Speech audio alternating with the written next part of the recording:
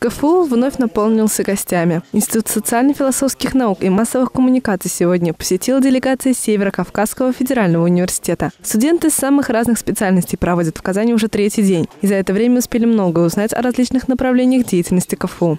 Попутно мы общались с представителями разных институтов, разных направлений. А, побывали во многих ваших музеях. Сегодня были в лабораториях физических. То есть ребята показывают свою материальную базу, свою базу знаний, навыков. Стараемся обмениваться по возможности всем, чем можем. Любой багаж знаний ценный. В ходе экскурсии ребята посетили и наш телеканал, где увидели работу «Универ Смотри» во всех подробностях. И увиденное произвело на них приятное впечатление. Очень порадовало меня как журналиста ваше телевидение «Универ Смотри».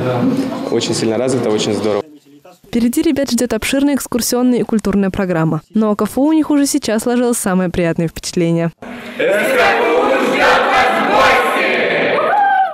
Лилия Равилова, Руслан Урманов, Универньюз.